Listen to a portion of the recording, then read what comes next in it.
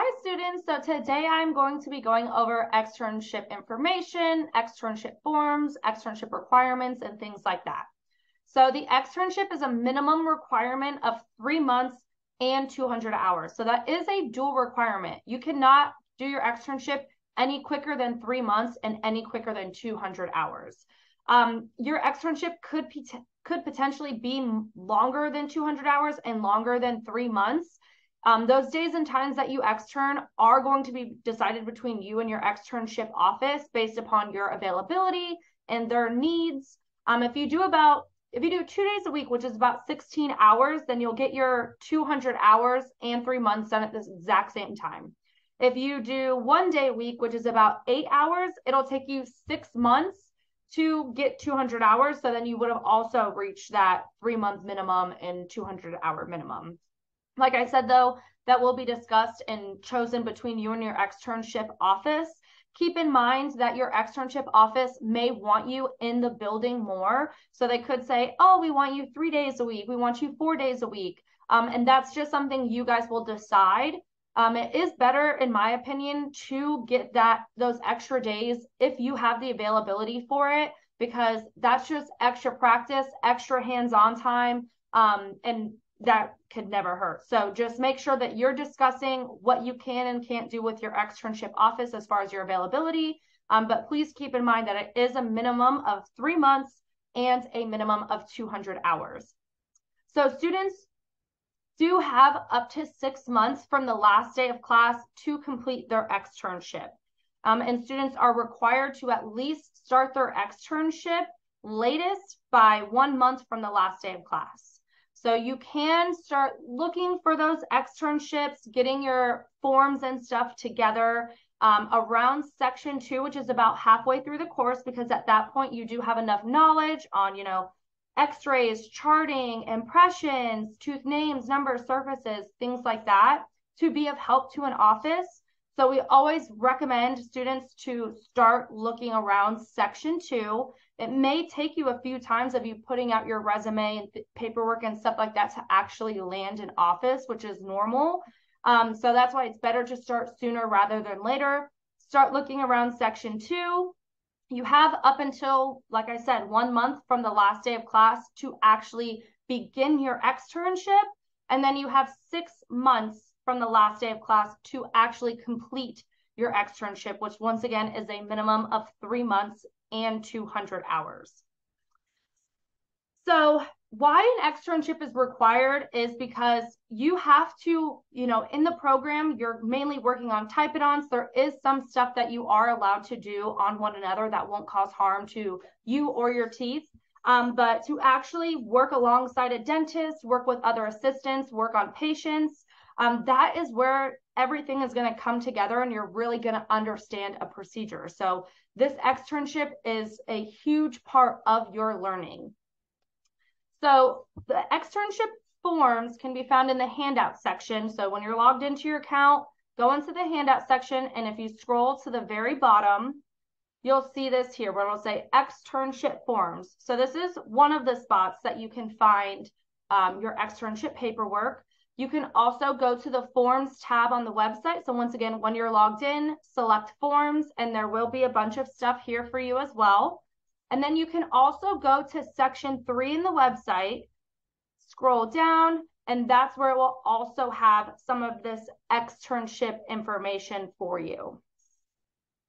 So what information you'll want to actually take to the interview is going to be your resume, and your cover letter.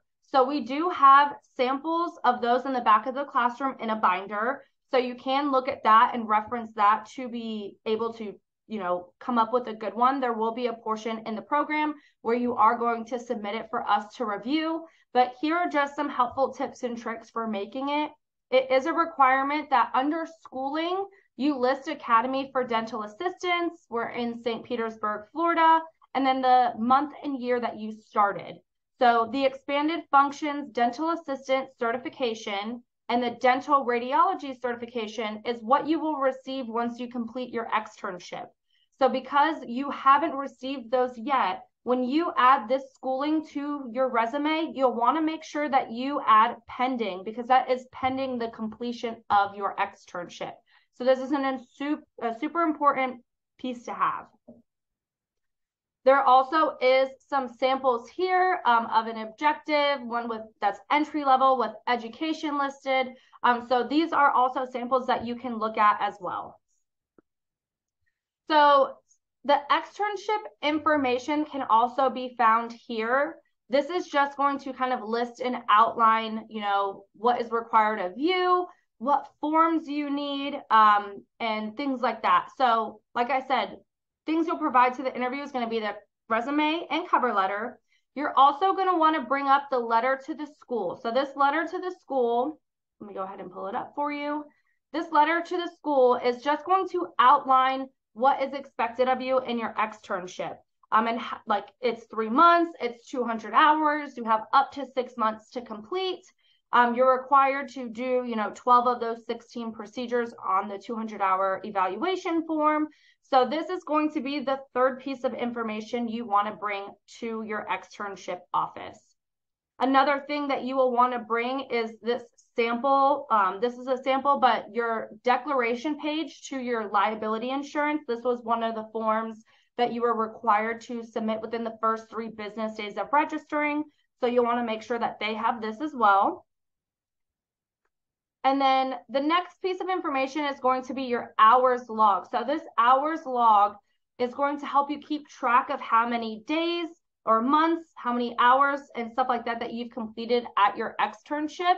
So every time you're at your office, you'll put the date you were there, the total number of hours, and then you'll have a supervisor initial. So this could be the dentist, the office manager, it could be um, the lead assistant, but someone's going to want to sign that every single day after you have completed that day.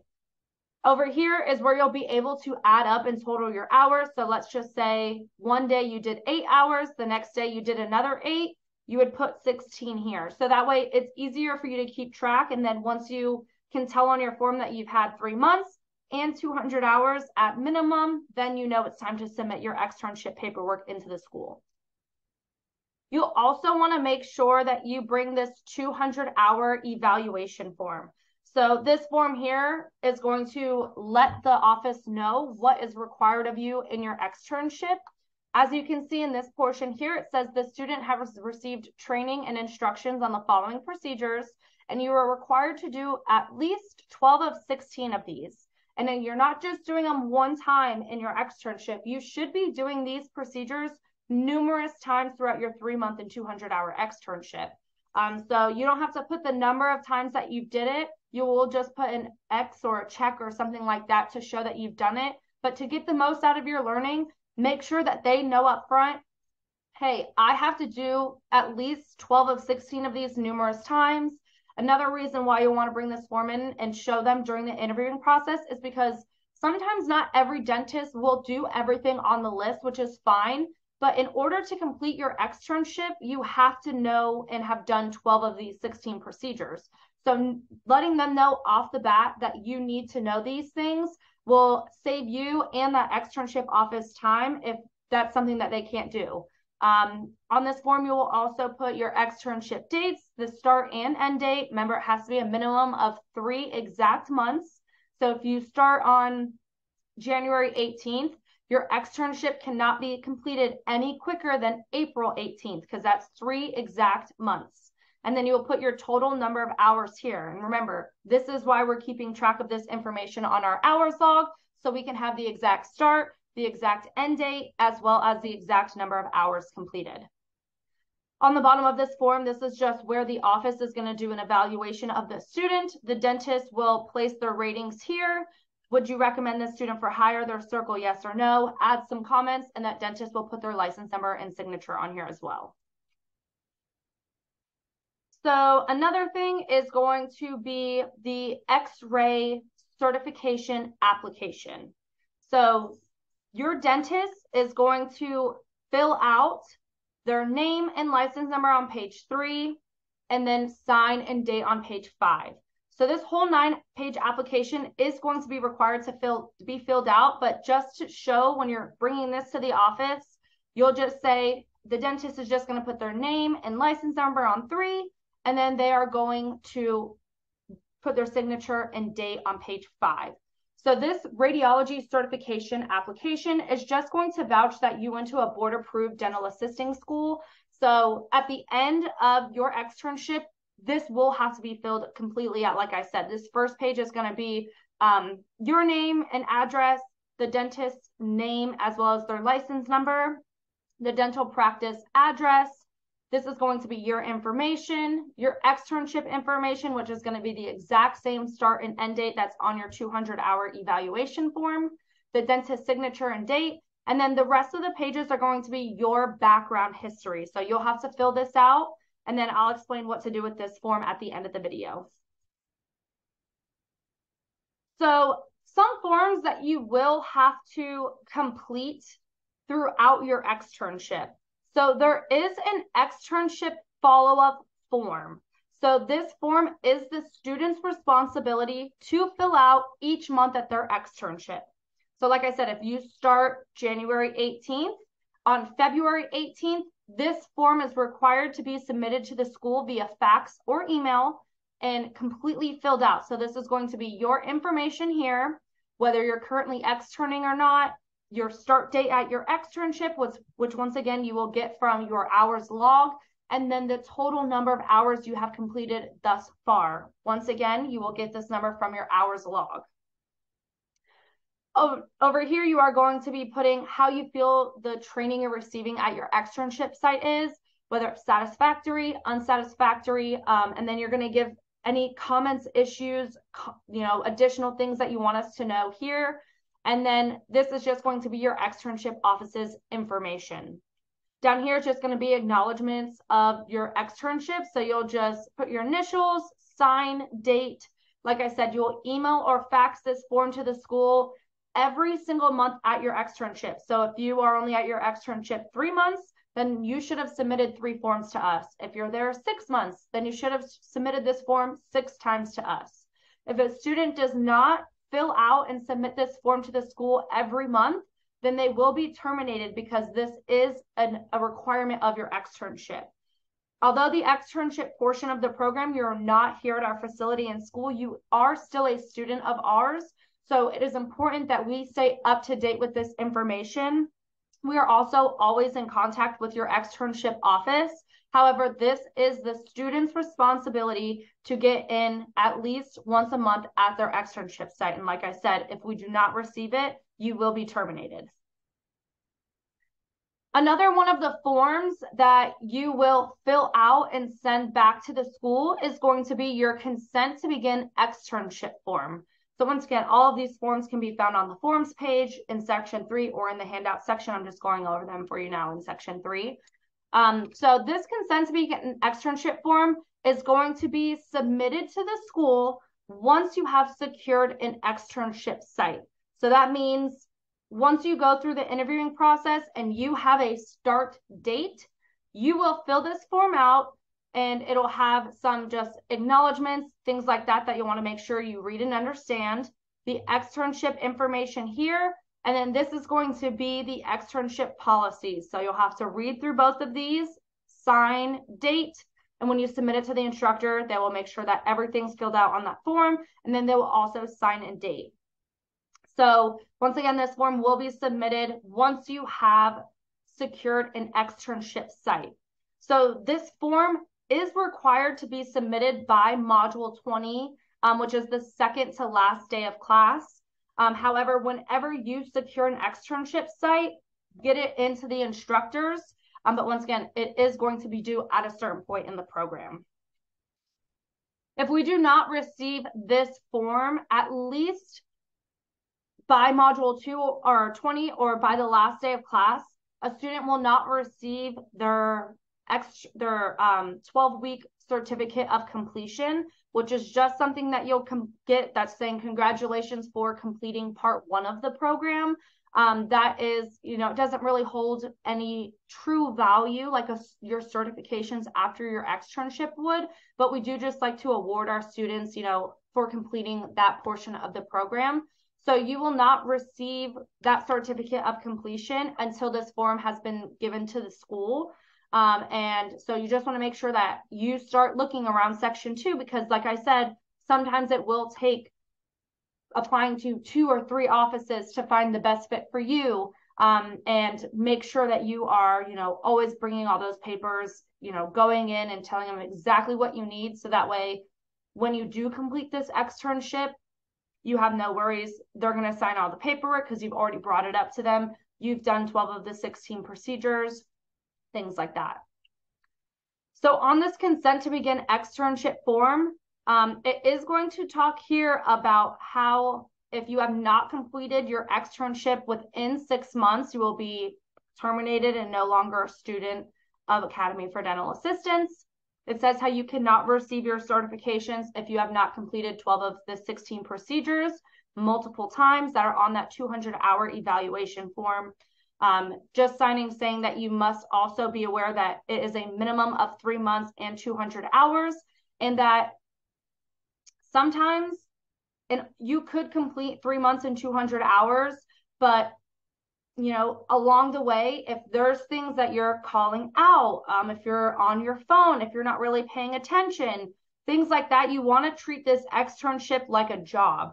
So if you're, you know, hiding in the bathroom, coming back late from lunch, no calling, no showing, they're going to terminate you from your externship and you'll have to start with another office from square one because it has to be three consecutive months under the same dentist. So this is just saying like at any point in time, this externship office could terminate me and you understand that you will have to start all the way over. Also, if you do not start your externship within one month of the last day of class, you will be required to take a one day remediation refresher course, and it'll say the cost on that form. Um, and that's just because, like I said, this information is not in your long term memory. So if you are not doing this stuff regularly, if you're not using it, you will lose it. So this is just stating you will have to initial that if you don't start it within one month from the last day of class, that's a requirement for you as well. So when you're filling this out, please make sure you're reading it thoroughly. You know what you're initialing and signing to before you submit it back into the instructor. So like I said, you can begin looking for those externships around section two. At that point, you do have enough knowledge and skills to be of help to a dental office with tray setups, instrument names, functions, you know, things like that. And then um, once you have completed your externship, the forms you will submit back to the school is going to be your 200 hour externship evaluation form. Remember, this is going to be completely filled out. 12 of 16 procedures are checked. It's a minimum of three months, a minimum of 200 hours. Everything on this form has to be completed. So you'll send this back into the school along with pages three through five of your dental radiology certification application. So remember, three is going to be the office's information.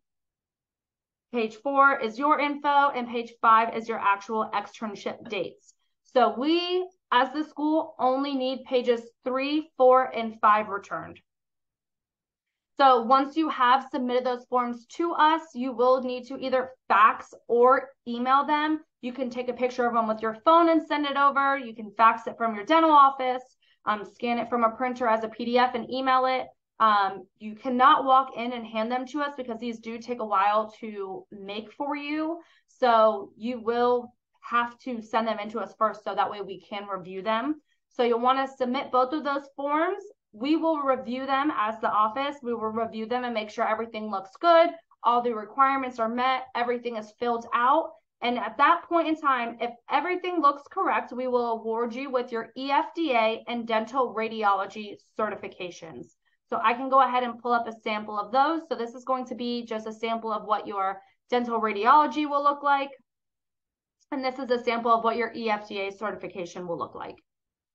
So once you receive those two certifications, with that is what you will use to go get a job. You are allowed with these two certifications, the X-ray and the EFDA, you are allowed to work under any specialty as an assistant, whether that be ortho, oral surgery, whether you want to stay in general, um, things like that. This these certifications allow you to branch off into any field of dentistry um, as a dental assistant and work.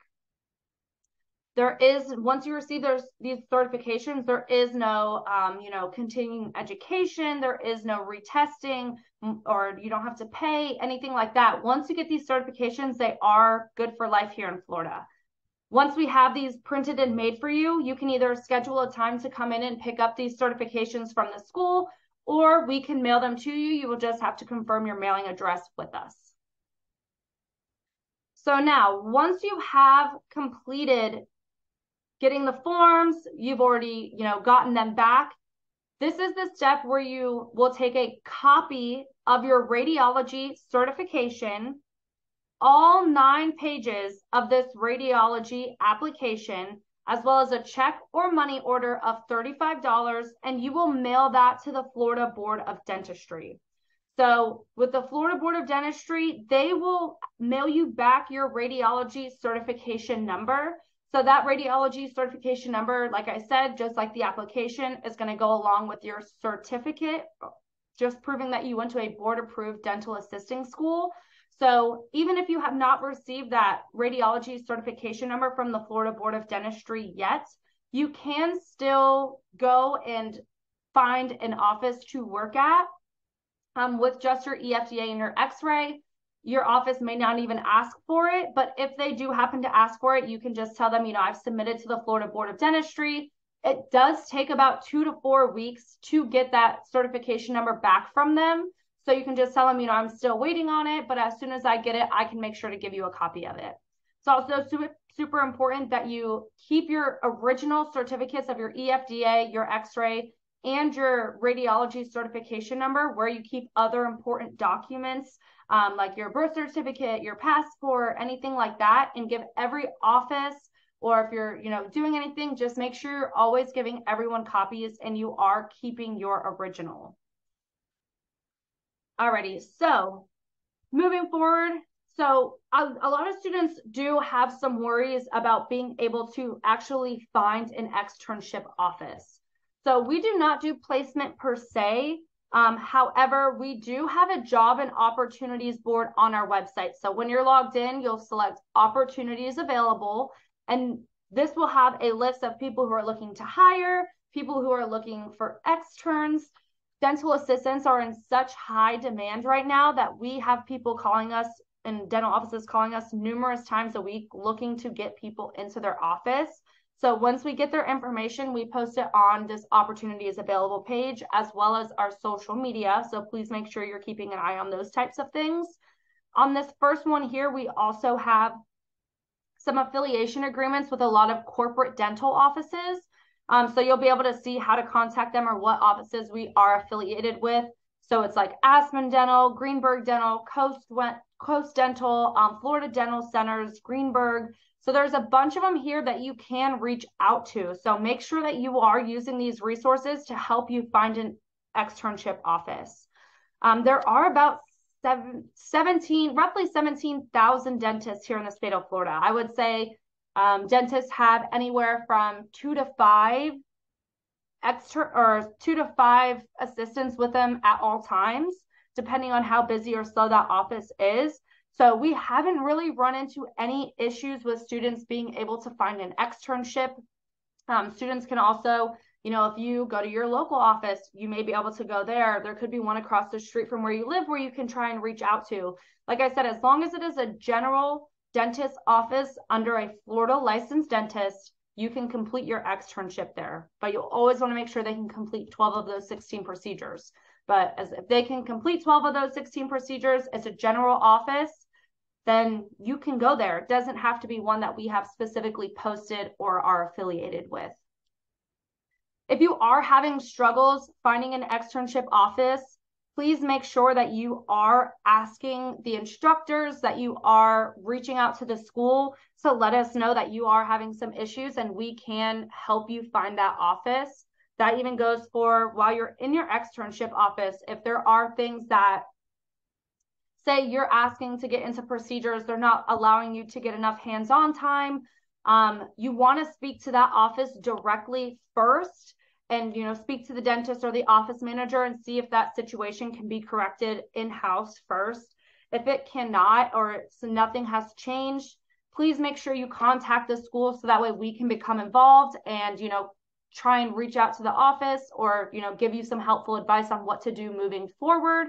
Um, always be in communication with us. I always think it's super important too that students know if the first two to three weeks, you may just be watching the flow of the office, watching how the assistants, you know, actually do these procedures alongside the dentist. Um, you may be doing a lot of sterilization, operatory cleaning, um, things like that. But that is all going to be helpful. Don't waste that time. I recommend bringing a notebook with a pen and writing down like what's in their tray setup because as we've explained throughout the program, there are, you know, dentists could use a various, you know, range of certain instruments or certain things in their tray setup. So take notes, write things down that you see, ask questions to your instructors, ask questions to the office, show that you're actively participating. But like I said, keep in mind, it may be two or three weeks where you are just kind of watching them at first. If you're still watching or kind of observing more than three weeks, that's when I would bring it up to the dental office and say, hey, I really appreciate you guys, you know, showing me, you know, these types of procedures, and I appreciate you taking the time to instruct me. However, I am feeling confident and comfortable enough to start working on these things. You know, like I said, bring these types of issues up to your office first. If nothing changes, please reach out to the school. Okay, so in section three, um, there is going to be a portion where you will be taking a externship quiz. So this is just going to relay the information um, again on this page, which is the consent to begin externship page. Um, you will see here externship information. So please make sure that you review this as this is what the quiz will be on. Um, it will also have another way for you to print and review this consent to begin externship form with the requirements. Um, and it's super important that you, you know, understand this. So if you do have any questions on anything, um, please make sure that you ask your instructors. We will go over it numerous times throughout the 12 weeks. Um, and of course, if you have any questions, you can call the office, message one of your instructors, um, and we'll be here to help you out. But just know that you can find everything once again on the handout section, in the introduction section, as well as section three. Um, and then we will be reviewing it quite often. So if you have any questions, please make sure you reach out because this information is super important. Thanks. Have a great day, guys.